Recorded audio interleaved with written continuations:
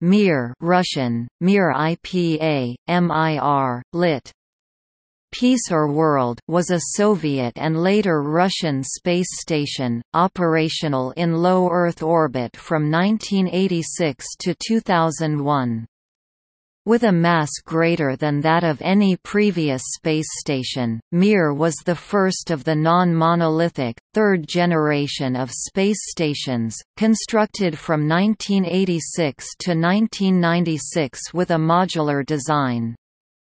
The station was the largest artificial satellite orbiting the Earth until its deorbit on 21 March 2001, a record now surpassed by the International Space Station ISS. Mir served as a microgravity research laboratory in which crews conducted experiments in biology, human biology, physics, astronomy, meteorology and spacecraft systems in order to develop technologies required for the permanent occupation of space. Following the success of the Salyut program, Mir represented the next stage in the Soviet Union's space station program.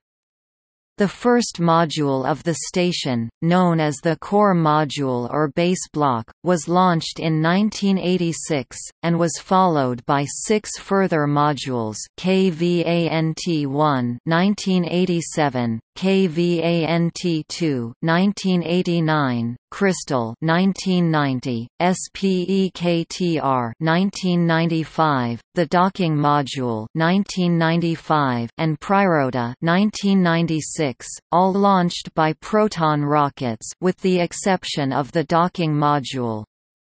When complete, the station consisted of seven pressurized modules and several unpressurized components. Power was provided by several solar arrays mounted directly on the modules.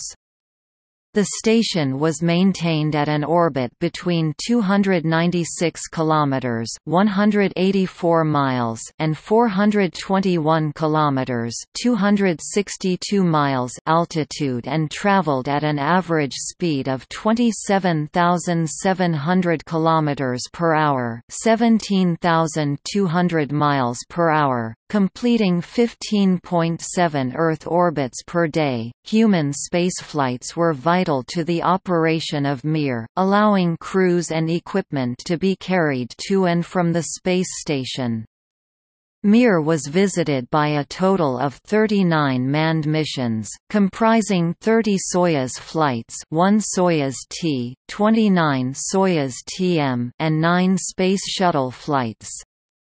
These missions carried both long-duration crew members flying principal expeditions ranging from 70 days up to Valery Polyakov's 14-month stay beginning in January 1994, which still holds the record for the longest continuous spaceflight by a single person and short-term visitors who spent about a week aboard the station. Many of the crew who visited Mir used different spacecraft to launch than they did to land. The first such examples were Alexander Viktorenko and Mohammad Faris who flew up in Soyuz TM-3, launched the 22nd of July 1987 and landed a week later in Soyuz TM-2 on the 30th of July 1987. The largest crew aboard Mir simultaneously not including shuttle Mir missions was six, which first occurred with the launch of Soyuz TM-7 on 26 November 1988 and lasted for just over three weeks. In this list, unmanned visiting spacecraft are excluded see List of unmanned spaceflights to Mir for details, and long-duration crew members are listed in bold. Times are given in Coordinated Universal Time UTC. Time docked refers to the spacecraft and does not necessarily correspond to the crew.